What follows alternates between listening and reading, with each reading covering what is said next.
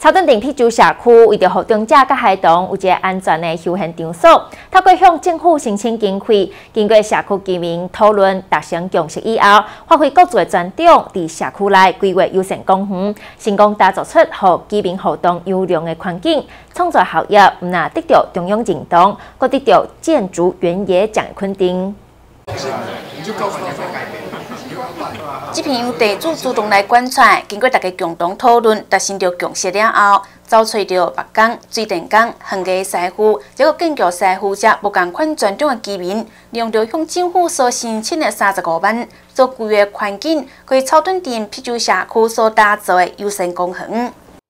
本来是个废弃公寮，杂乱的脏，甚至于连阿飘的那种故事都有人讲出来，因为二三十年没有人去探知它。所以说很脏乱、很阴暗，然后我们把它改善，你看，它变成无形中咯，它产生了有形价值跟有形价值。那整理出来的话，有小孩子啊，可以来带来这里逛、玩沙子啦，逛一逛啊，看看花啦，走走一走，不不错啦。现在环境改改变了很多啦。为讲好这几年相当依赖手机啊、甲电脑加三 C 产品的居民，加加向户外。啤酒社区以优势来作为着出发点，设计着无障碍空间、绿地，也有树木，互老人甲囡仔有休闲的所在，再来亲近着大自然。安尼依着有限的资源所创造的效益，哪讲得到中央的肯定，同时来得到建筑原野奖奖项。这里大家顺便观赏，身边有个东西吃，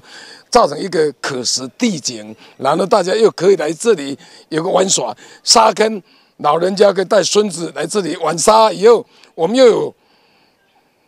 天天造的那个洗手台，全部都把它规划的很好。那这个望月园的部分也把这个环境更营造的更好。我们也期待它陆续能够把整个环境的社区共构起来。那这边的环境，我们觉得是值得作为一种典范的地方。我的志刚真的做认真呢。阮甚至有排排拜拜日，安尼每个人来压水来来来来来整理遐花草。啤酒社区表示，过去庙宇这个活动中心头前的广场是大家活动交流的所在。不过这几年部分来作为篮球场和青少年运动，相对来减少着老人甲囡仔休闲的空间，所以才会打造优胜的公园。同时成立着志工队，大家做伙来维护环境，对社区阁是另外一个正面发展的力量。记者女性长报道。